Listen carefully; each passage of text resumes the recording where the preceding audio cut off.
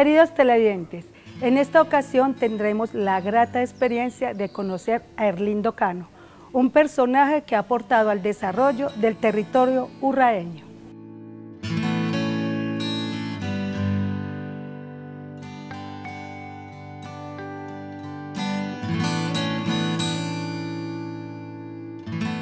Mi nombre es Erlindo Antonio Caro. Eh, no sé ni dónde nací, lo único que sé es que mi niñez la pasé en, Orobugo. Cuando Orobugo formaba parte del Chocó. Lo que pasa es que de aquí para ir a Orobugo no había carretera, los carros no iban sino hasta la Honda. Entonces nos tocaba irnos por Chaqué y eran unas jornadas muy grandes, muy, unos caminos muy malucos, muy duros. Más que todo la niñez, la pasé en Orobugo, estudié en la escuela La Loma, el, primero, primero de escuela lo hice en La Loma. Pero eh, nos, sacaron porque eso era por puros rastrojos y montes y eso era muy lejos, desde el Alto de Orobugo hasta la escuela La Caldacia, que era en La Loma que todavía existe. Cierto, me tocó con una profesora Amalia Quiseno. Luego eh, me matricularon más bien en San Luis, en la escuela de San Luis. Y eh, también me tuvieron que sacar de ahí porque lo que pasa es que la quebra de San Luis crecía mucho. Y yo bien pequeñito y solo para venir desde Orobugo hasta San Luis, me quedaban, no, pues por ahí hora y media, hora y cuarto, pero uno que estaba joven porque, porque corría, viniendo muy bueno, pero subiendo tenía que subir desde el río Penderisco hasta el Alto de San Luis lejos, eso me quedaba siempre muy lejos. Trabajando en los trapiches, porque desde muy jovencito nos tocó trabajar porque mi papá pues era una persona muy, muy, pues digamos pobre, pero él tenía una finca, una finca grande, pero no, no, no, no la sabía trabajar. Entonces no tenía recursos para trabajar, entonces que hacía con todo ese rastrojo y todo ese monte, y éramos nueve hermanos.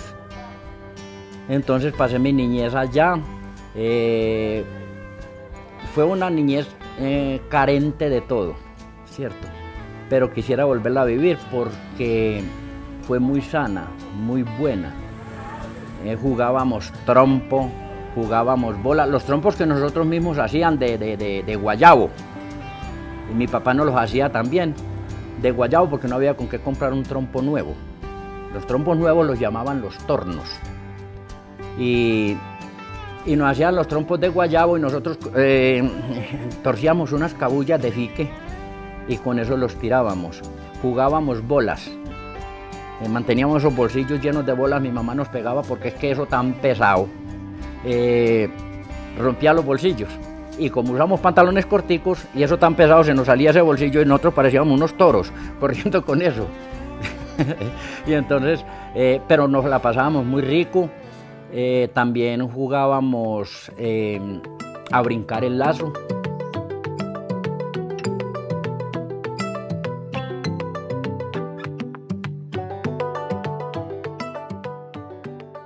Entonces nos criamos ahí con una familia Flores y con ellos jugábamos, hacíamos unos carros de palo. Nos íbamos para el monte y con una hacha tumbábamos los palos así, unos palos así. Y hacíamos unas ruedas pero era un problema, teníamos que sacar con una lima el centro de esa rueda para poder que, meterle un ejecito y le poníamos las cuatro ruedas y nos íbamos para un, para un potrero que era así pendiente y nos montábamos en eso, vea, más de una vez nos vimos matados en esos carros.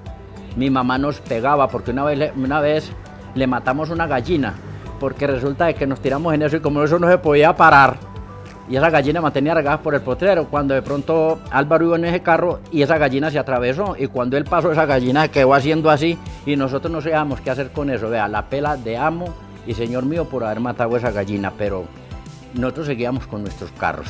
Nosotros seguíamos jugando carro. Eh, también jugábamos una cosa que llamaba machuque.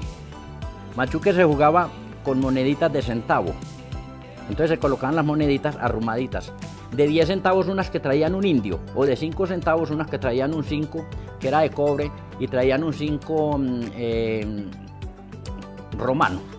Y con eso jugamos, las monta eh, uno colocaba las moneditas y de una, distancia y colocaba una raya porque si no había pelea, porque de pronto el otro se pasaba. Entonces colocamos una raya y allá estaban las, canicas que llamamos las bolas. Entonces uno tiraba la moneda, el que quedara más, allá, ah, colocaba la bola, el que quedara más cerquita de la bola le daba primero. Entonces uno arrumaba eso y lo colaba todo con la cara para arriba y le daba con la moneda y las que voltearan eran de uno. Vea, nosotros podíamos pasar días completos jugando con eso. Luego, ya después de, de la niñez, y de todo lo que vivimos allá. Vivíamos en una casa muy, mm, muy rústica, una casa muy rústica. Eh, lo que pasa es que el tío mío, Eliodoro Rueda, que a él tengo mucho que agradecerle y agradecerle que yo en este momento pueda ejecutar una guitarra y un tiple. Eh, compró una finca allá e invitó a mi papá para que la compraran en compañía. Él invitó a mi papá. Entonces compraron la finca y la partieron. Mi papá le tocó para arriba, para el Alto Hugo, y a mi tío le tocó para la playa. Ellos se pusieron de acuerdo. Como en la parte de abajo tenía casa, en la playa, y la de arriba no tenía casa. Dice, el que le toque para arriba, le ayuda a hacer la casa al otro. Y así le hicieron en una casa de cancel. Y entonces la casa quedaba así y era muy húmeda. Imagínense que las culebras entraban. Y, una vez mi hermano fue a buscar una casa en una caja de cartón y mandó la mano y, brincó. Y dijo, hay una cosa muy fría. Bueno, era una culebra enrollada ahí. Entonces sí, todas esas cositas así y sufríamos mucho por eso. Mi mamá se llamaba Carmen Emilia Rueda García y mi papá se llamaba José Libardo Caro Duque. Mi mamá de la San José y mi papá de, Luciano Restrepo, de por ahí a los lados de la Guamala.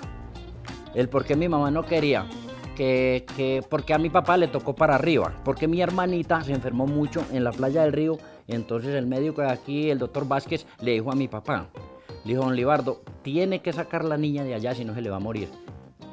Entonces la sacaron de allá, entonces mi papá escogió la parte de arriba, entonces cuando hicieron la casa para mi papá, pero entonces había un llano muy cerquita del camino, hermosísimo ese llano, eh, donde era el potrero. Entonces mi mamá dijo, no Libardo, hágamela más allá adentro, más allá, más allá en, una, en la falda. Porque resulta de que en ese tiempo existían dos unas personas, uno que le decían el pálido, José Luis Gonzaga, creo que llamaba así, otro. Entonces esas personas, las casas que estaban cerquitas del camino, ellos se entraban, había que darle comida, había que, cierto, atenderlos pues. eran unos bandoleros del campo en ese tiempo, lo que era como un residuo de esa guerra pasada de los liberales y los conservadores del 48. Entonces ellos, ellos quedaron por ahí, eran unos rebeldes.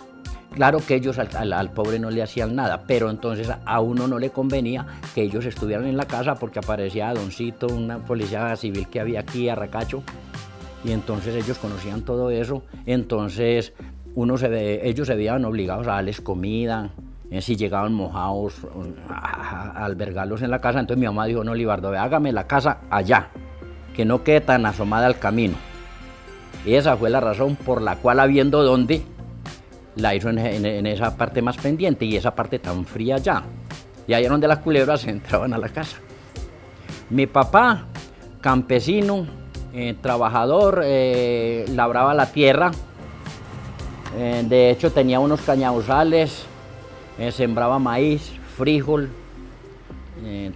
teníamos un ganadito, unas vaquitas. Había una vaca que llamaba la hermosa, que no tenía sino dos tetas porque era muy ladrona y entonces por irse a robar a otros potreros se brincaba los alambrados y se, se mochaba las tetas y no tenía sino dos. Pero esa, esa vaquita le costó a mi papá como 2.500 pesos, porque él vino a la caja agraria que le prestaran la plata y cuando eso la feria quedaba donde es el hospital, entonces le prestaron la plata en, la, en, la, en la caja agraria y él le tocaba pagar como 60 pesos en el mes o en el año, yo no sé, algo así. Bueno, esa vaquita la pusimos la hermosa era mansitica, chiquita, muy buena lechera, pero una le podía montar, ella ya estaba echada y no se montaba y quedaba encima de la vaca, que no hacía nada. el problema era que cuando entraba en celo, vea, mi papá una vez me tocó con la escopeta, casi la mata, porque resulta que eso se le puede hacer un tiro con solo pólvora. Y entonces nos le escondimos porque ella se brincaba por ese alambrado y llega mi papá y ella venía y se le da a mi papá por meterle una piedrita a la, porque es que no se carga sino con pólvora, una escopeta de, esas de chimenea, una, un de Y llegó y le quemó y le pegó a piedra a la vaca que casi mata a la vaca. Vea, qué problema con mi mamá. Por eso, pero vea, con eso tuvo la vaca para no volverse a salir, pero ya no tenía sino dos tetas. Entonces, pero mi mamá eso, esa, ordeñaba esa vaca y entonces esa vaca nos dio terneritos y mi papá cuando era ternero lo vendía, compraba ternerita. Eso sí, que no se fuera a gastar la plata porque Pau Pau de Carmen Emilia Rueda. Entonces eh, eh, teníamos vaquitas, teníamos un caballo que se llamaba Chorro de Humo que era un caballo muy peligroso porque cuando iba llegando a la casa no le avisaba a uno. Vea, eh, retirado de la casa, usted tenía que darle palo para que eso caminara. Pero cuando iba llegando a la casa, ese caballo se disparaba, vea, eso galopaba de para arriba, para abajo y como fuera, y cada rato nos tumbaba. Álvaro le quebró una mano porque se descuidó y, y lo tumbó. Y pues mi papá trabajando en el campo, jornaleando con una finca de esas y le tocaba jornalear. Antiguamente el hospital era donde es en este momento la administración municipal, la alcaldía. Y, la feria quedaba donde es el hospital en este momento. Jueves y viernes, eh, los últimos jueves y viernes de cada mes eran las ferias. Esto se llenaba aquí de indígenas, a eso sí era una feria. los animales era, era por la calle. No, no, no, no, no los cargaban en carros, los cargaban era por la calle, así, arriados. Entonces de pronto cualquiera se le daba por joder, ojo que brava. Entonces todo el, todo el mundo se escondía porque muchas veces sí era una vaca brava. Y, digamos que si en, en, ese tiempo eh, todo era muy, muy distinto.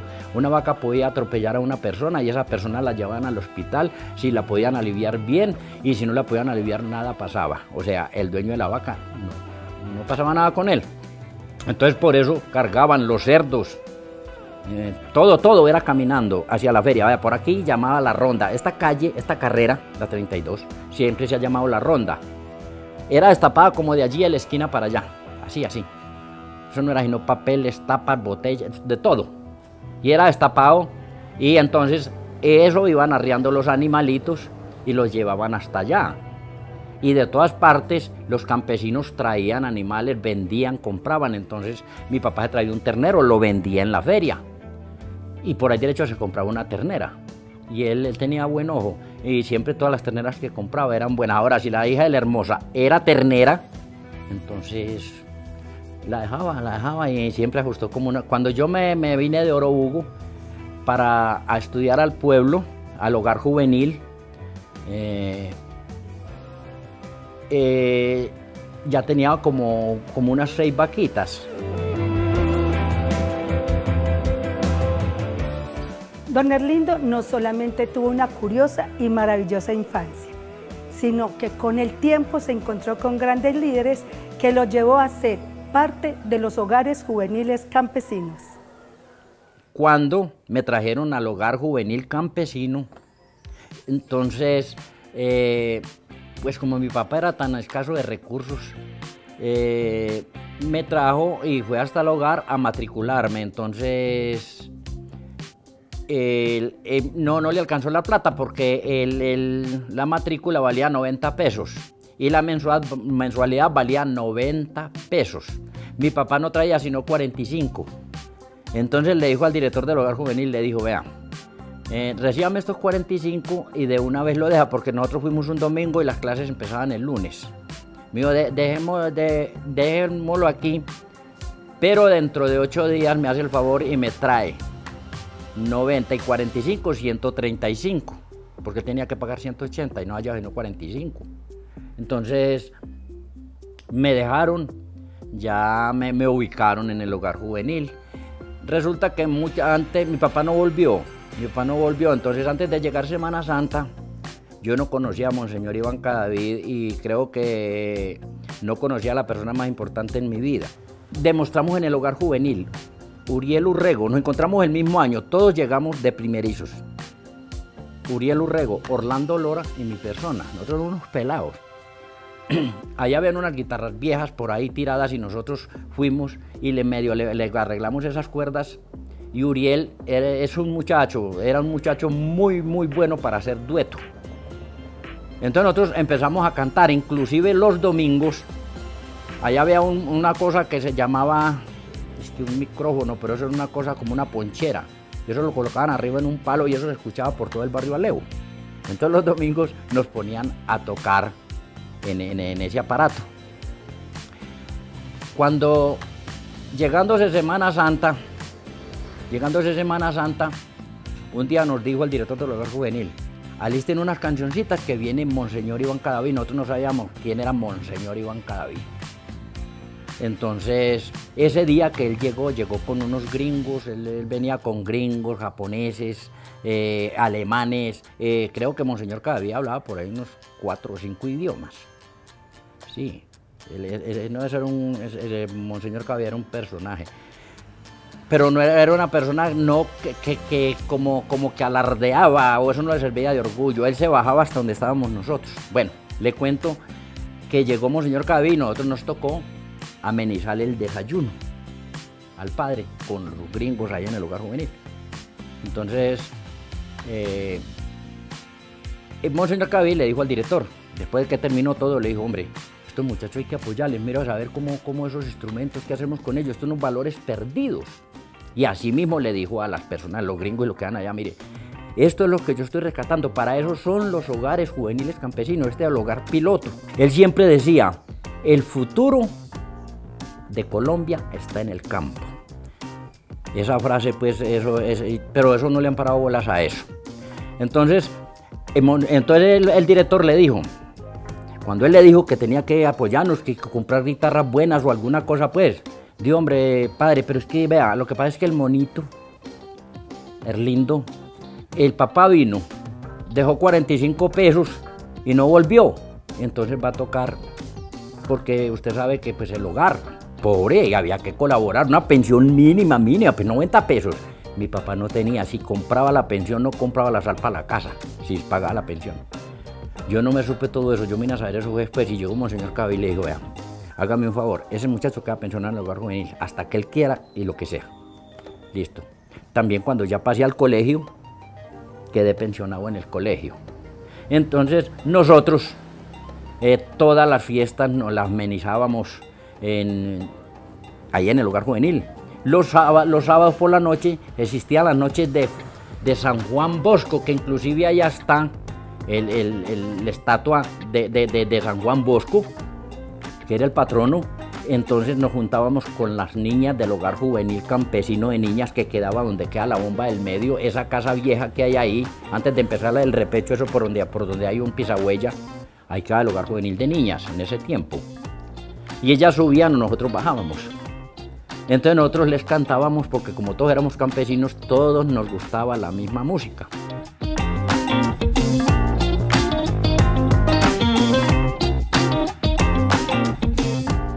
Ese año a Monseñor Iván Cadaví eh, dio, eh, dio, la idea de irnos, de llevarnos a Bogotá, a Uriel, Orlando y a mí, a celebrar la Semana del Niño Campesino. Eso se celebraba en septiembre, por ahí para el 26 de septiembre de cada año, durante unos tres o cuatro años más o menos, creo que unos tres años, nos llevaron a Bogotá. Eh, una vez fui con el maestro Humberto Elías. Humberto Elías, el, escultor de aquí de Urrao, me tocó con él a Bogotá y Martín Emilio Cochise Rodríguez, porque Monseñor Iván Cadaví era, ha sido número uno al deporte.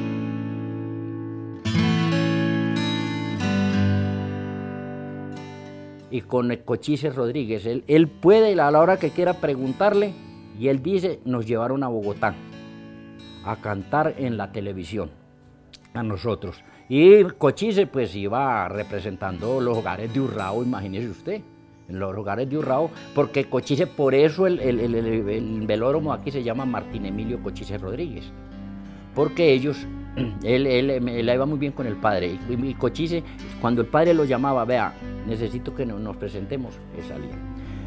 El segundo año nos tocó con eh, el director del hogar juvenil y Marcos Meléndez.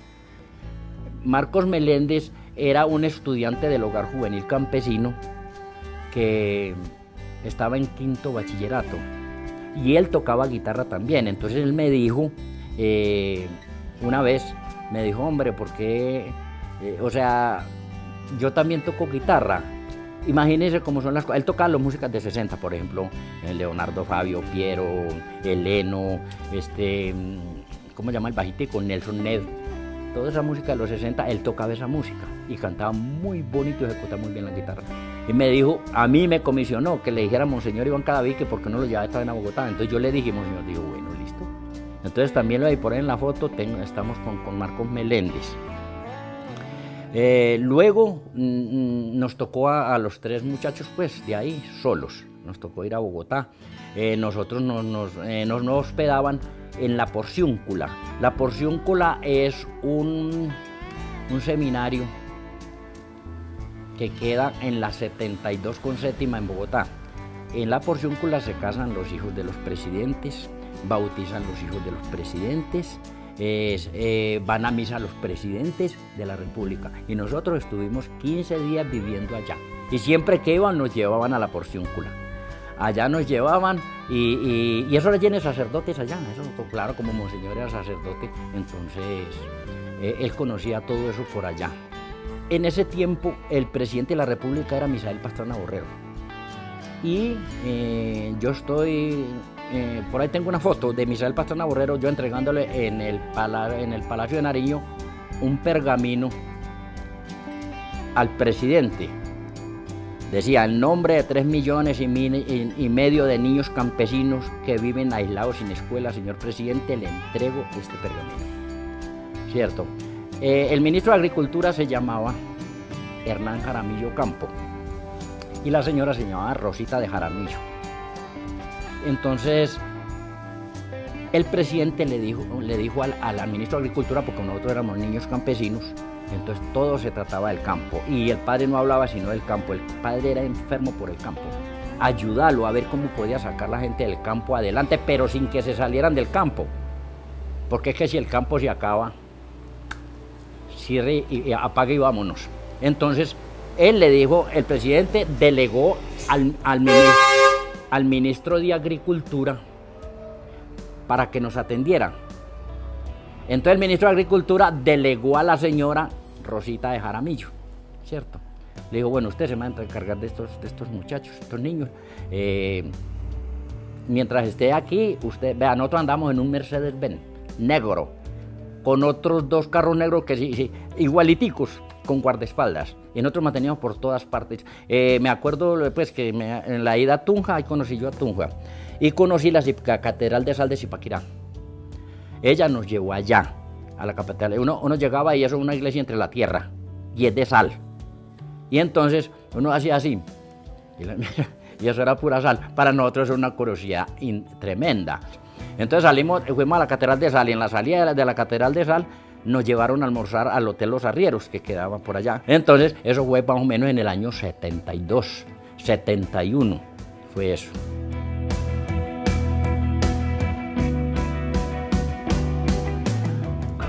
Vea, en el hogar juvenil campesino, eh, cuando llegamos allá, pues nos tocaba trabajar. Para nosotros eso no era ningún trabajo. ¿Por qué? Porque nosotros estamos acostumbrados en el campo a trabajar desde las 6 de la mañana hasta las 5 de la tarde. Asadón, machete, hacha, bueno, y todo eso. Eh, lo que es cortar caña, cargar caña, cortar cabulla, cargar cabulla. Esa cabulla tiene un, jugo, esa es la penca, y eso pica. Eso en un principio, mientras uno se acostumbra, y un calor bien berriondo, imagínese usted. Eso es tremendo. Entonces, ya llegamos al hogar juvenil. Eh, nos tocaba, porque allá eh, estaba la, nos enseñaron la granja autosostenible, que eso, eso lo, hablaba el padre Monseñor Iván Cadaví.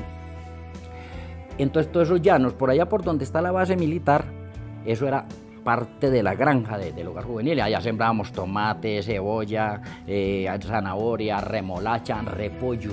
Pero vea, fueron unos repollos, vea, grandes. Y, ahí donde están las cabañas de la parte de atrás, como nosotros llegamos en un principio nomás al edificio del medio y al que está en la entrada.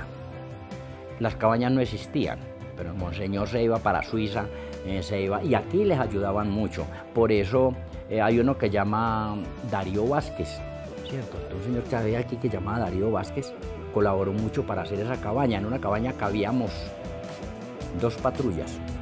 Una patrulla se, formaba de siete Nosotros nos filamos, nosotros éramos como escados, como militares. Las patrullas, patrulla 1, hasta llegar a 80, 70, 90 alumnos, ¿cierto? Entonces, ahí estaban las patrullas. Había un enfermero, un jefe de patrulla, eh, más o menos nosotros, o sea, nosotros lo mandaban a uno y los otros obedecíamos, porque yo nunca quise ser jefe de patrulla, nunca me dijeron porque yo por la cuestión de la guitarra me llamaban pagote y yo faltaba mucho y el, y el jefe tenía que estar ahí diario. El jefe de la patrulla nos presentábamos a las 6 de la tarde, hacíamos presentación, pues a las cinco y media, 5. Entonces pasaba el jefe de disciplina, dos. Entonces llegaba por decir algo y decía, el jefe de patrulla decía, eh, vea, comentarle em, el nombre que fuera, Agustín, lo que fuera Agustín, que nos falta un integrante porque está enfermo. Listo. Los otros todos bien. Que el otro falta este, que el otro está en permiso, que el otro. Entonces él iba apuntando quién faltaba. ¿Y por qué? Entonces en cada cabaña cabían dos patrullas. Una entraba por aquí, la otra entraba por aquí. Darío Vázquez, Abona, que tenía un nombre de un señor suizo, que ese señor regaló las, la, plata para hacer esas cabañas. Eh, habíamos por ahí unos 60, unos 60 cuando yo, yo llegué, 60, 70. Eh, nunca los conté, verdad, la verdad fue esa, yo nunca me creo. Y había gente desde primero de escuela hasta, hasta, hasta 11, en ese tiempo era sexto bachillerato, hasta 11. El hogar juvenil sacó muchos, muchos eh, bachilleres, en este momento son profesionales, em, profesores que también son todos profesionales. El hogar juvenil campesino, en este momento, da tristeza ver el hogar juvenil campesino. El hogar campesino, juvenil campesino está acabado. Mientras Monseñor existió y venía aquí Urrao, era una entidad excelente. Traía a los niños del campo que no tenían la oportunidad y no tenían en el pueblo a dónde llegar. Allá estudiaban. No solamente estudiamos en la escuela, normal, no. Allá nos enseñaban eh, a cultivar, porque, porque como le dije antes con mi papá, mi papá tiene una finca que no sabía qué hacer con ella. Sembraba unas cosechas de maíz grandísimas, de hectáreas, y cuando él cogía el maíz, este pueblo está lleno de maíz. Entonces, no, eso nos enseñaban allá, a, la variedad, ¿cierto? ¿Cómo llaman? A la diversidad nos enseñaban. Eh, la mayoría de campesinos aquí no sabían cultivar la zanahoria, la remolacha. E, ellos no sabían cultivar esas cosas de huerta, no, no, no, estos tubérculos, ellos no, no sabían. En el hogar juvenil nos enseñaban a eso, nos enseñaban enfermería. Eh, nos apoyaban a nosotros, los de la música, nos apoyaban con música. Eh, muchas personas las enviaban hasta el SENA a hacer cursos pequeños. Entonces, a mí el hogar juvenil eh, gracias a él y a Monseñor Cadaví, gracias a Monseñor Cadaví, como fundador de los hogares juveniles campesinos, yo soy el que soy ahora, ¿cierto? Si no, yo pues sería un campesino normal, común y corriente, claro que lo soy, porque es como el que es sacerdote, el sacerdote siempre será sacerdote, yo, yo nací en el campo y soy del campo, y pues si ahora tengo la oportunidad de vivir por aquí en el pueblo por cuestiones de salud, porque yo tenía mi finquita también, me tocó venderla por problemas de salud, y pero eh, todo lo que sé, todo lo que sé, pues la mayoría se lo agradezco a los hogares juveniles campesinos. Hasta aquí el programa del día de hoy. En la próxima emisión tendremos nuevamente a este personaje, quien de su memoria sacará las mejores notas musicales para el baúl de los recuerdos.